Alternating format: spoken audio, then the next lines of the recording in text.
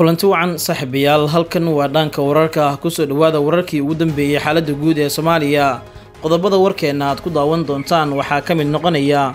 nima waddankaanoo jireer iyo eelaa laga sifayn nabad dhaqamaayo xashii maxamuud. Maanta go'aan uu qaaday qaatay. Wuxuu yidhi waa in la sifeeyaa jireerta iyo eelayda damul jadiid oo muqdisho ka bilowday howlgal lagu raafayo beelaha jareerweyne iyo raxaweyn qabanqaabada bannaanbax looga soo horjeedo go'aanka dowladda oo socda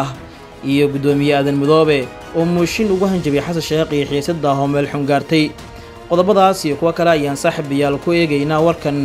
balse marka hore u diyaargarooba hordhaca qodobada warka aad daawateen oo dhammaystiran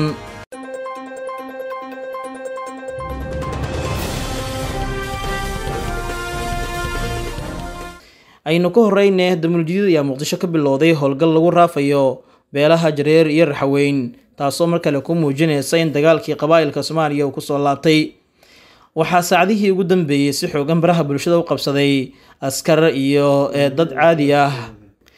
kuwaas oo lagu raafayo dadka digili mafelis ku yidhaahdo ee dega inta badan muqdisho iyo duleedkeeda.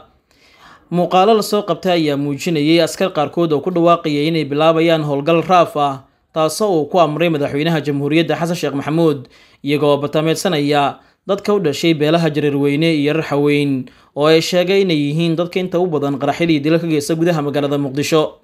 Mar kale waxaa muuqanaysa ifafaalle dagaal qabaa'il oo soomaaliya ka dhex qarxi karaa marka loo eego tallaabooyinka xasan maxamuud uu qaadayo iyo amarada uu siinayo saraakiisha ciidan ee isaga hoos timaada shakhsigan oo si weyn muuqaal uga soo muuqday ayaa aada u aflagaadeeyey beelaha jareerweyn iyo raxweynta wuxuuna sheegay inay yihiin kuwa amniga liddi ku ah oo dhibaatooyin waaweyn soomaaliya ka geystay haba badnaatee qaraxyada iyo dilalka tooska ah wuxuu sheegay inay bilaabayaan dhowaan howlgal saf ballaaran ah oo toddobiyi tobanka degme ee caasimadda iyo duleedkeeda laga sameynayo kuwaas oo lagu soo xirxirayo gebi ahaan xabsigan la dhigayo beelaha jareerweyne iyo raxaweyn oo ay sheegeen in amni darada caasimadda iyagu qeyb weyn ay ka qaataan dad badan oo u dhashay beelaha jareerweyn iyo raxaweyn oo ku jira dowladda qaarkoodna xildhibaana ayaa si arrintan uga falceliyey. Waxaana ay sheegeen in gumaadkan iyo xasuuqa lagu bilaabay beel gaar ah uu muujinayo hadafka xasan maxamuud dowladdiisa iyo wax laga filan kara afar sano kadib taasoo hadda ay bannaan ku soo baxayso in beelahan ay iyagu isku aadisanayaan hub iyo qoriyo si ay uga hortagaan gumaadka lagu bilaabayo soomaaliya oo dagaallo sokeeye ka soo kabanaysay soddonkii sane ee ugu dambeeyey in mar kale dib loo soo celiyo ugaarsiga qabaa'ilaadka. Waxay mar kale ku muujinaysaa in hadalhayntii iyo sidoo kale haleyska sheekh maxamuud ee ahaa soomaali heshiisa dunidan heshiis la oo isku bedelayo. Soomaali is cunaysa dunidana cunaysa. Taas oo had dad badan ay aaminsan yihiin inay tahay dharbaaxo kale oo siyaasadeed oo dibindaabyo ku noqon karta dowladda xasan maxamuud iyo in tallaabooyin horumar ay samayso inkastoo aan la ogeyn in amarkan xasan sheekh maxamuud uu soo saaray haddana shakhsiga muuqaalka soo dubay oo isku sheegay inuu yahay taliyo ka tirsan ciidamada wuxuu si cad u sheegay in amarkan uu siiyey madaxweynaha islamarkaana ilaa iyo ceelasha biyaha iyo inta udhexaysa ee muqdisho ay ka bilaabayaan howlgal lagu raafayo dadka beelaha jareerweyn iyo raxweyn u dhashay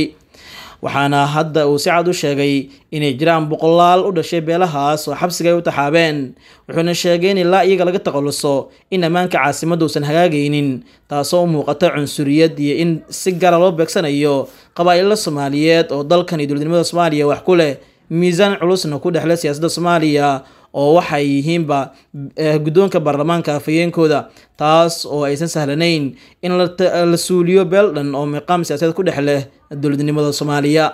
Balse tallaabadan ayaa muujinaysa in xasan sheekh maxamuud uu go-doon gelinayo beelaha qaarkood oo uu u arko inay yihiin kuwo isaga ka soo horjeeda ama liddi ku ah nidaamkiisa dowladnimo xilligii farmaajona si weyn loo hubeeyey beelahaasi waxaana ay ciidamada howlgal ka sameynaya intooda badan ay isugu jiraan dadka u dhashay gobolka banaadir gaar ahaan beelaha hawiye iyo sidoo kale beelo kale oo gaar ah oo dhanka xamse ka socda sida la sheegay kuwaas oo iyaguna qeyb ka ah howlgalkan lagu raafayo beelaha jareerweyn iyo raxweyn ee ku nool muqdisho iyo dowladkeeda intaba.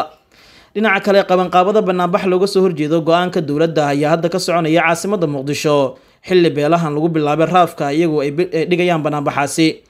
degmooyinka qaarkood ee muqdisho waxaa si xowle looga dareemayaa qorashaha banaanbaxan looga soo horjeedo howlgalka ka bilowday muqdisho iyo duleedkeeda iyadoo beelaha jareerweyn iyo raxweyn ay is aruursanayaan waxaana ay sheegeen maalinta jimcaha ee toddobaadkan taalada daliilka daasoon ee muqdisho ee ka dhigi doonaan banaanbax weyn oo arrintaas looga soo horjeedo ayna caalam ku egeysiinaya inuu socdo waxaa loogu sheegay isir sooc iyo nacayb dad gaara loo qaaday oo xasan sheekh maxamuud iyo dowladdiisa ay dadka iska horkeenayaan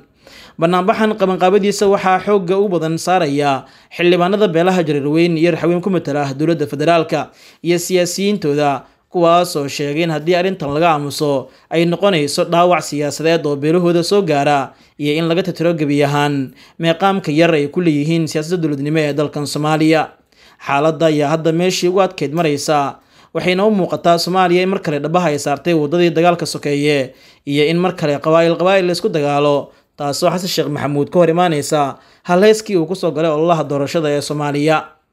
Degmooyinka qaarkood ee muqdisho ayaana hadda waxaa ka soconaya dhaqaaqyo xoogan iyo abaabul ay wadaan. Dadka u dhashay beelahaas iyo siyaasiyiintooda iyagoo isku ballansaday fagaaraha taalada daljirka dahsoon ee gudaha magaalada muqdisho ee caasimada soomaaliya.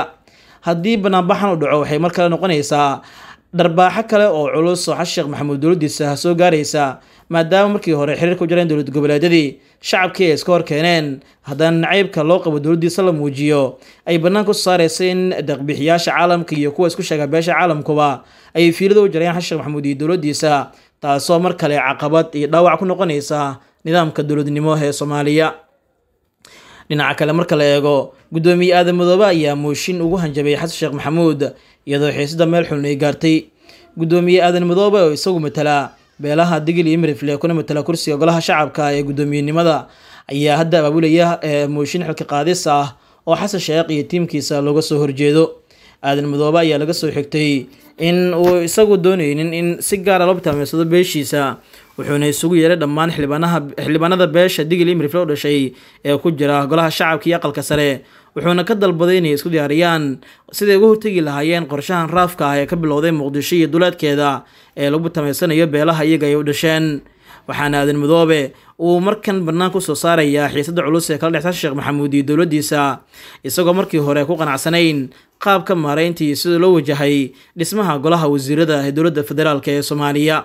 isku soo wada duubo xaaladan ayaa hadda ah mid aada khatar u ah. Waxaana xasan sheekh iyo nidaamkiisa lagu eedeynayaa in ay kala faquuqayaan nidaamkii dowladnimo ee lagu heshiiyey iyo awood qaybsiga beelaha ee afar dhibic shan. Mooshinka xasan laga keenayana wuxuu noqonayaa madaxweynihii ugu horreeyey isagoo aan sanad jirsan dowladdiisa ay wajahdo qalqal siyaasadeed iyo xilka qaadis deg deg ah taasoo ku muujinaysa in isbeddel weyn oo soomaaliya ka dhacay tan iyo markii la doortay sheekh maxamuud ayna sii xoogeysay in isku dhacyada beelaha iyo dagaalada tooska ee ku dhex maraya gobollada iyo sidoo kale magaalada muqdisho ee caasimada soomaaliya. Guud ahaan saaxiibayaal waa wararkii ugu dambeeyey xaaladda guud ee soomaaliya tan iyo kulan dambe nabadgelyo